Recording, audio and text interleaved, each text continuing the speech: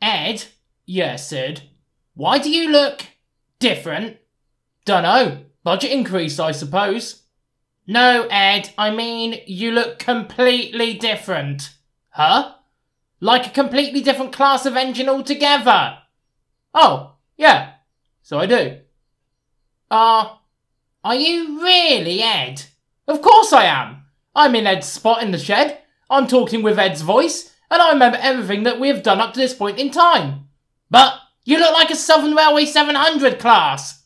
That's the beauty of cosmetic surgery. And you. you don't see anything different about me? Uh, no. No, you look pretty much as you always have. But, are you sure? I feel different as well. More pixels does that to you. I'm not so sure. I was built as a Fowler 2P. Now, I feel like I should identify as a Maunsell L1.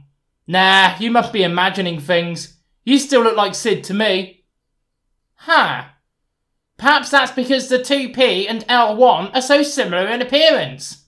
Exactly. Hell, we could permanently change you over to this new shape and nobody would notice. Not even me.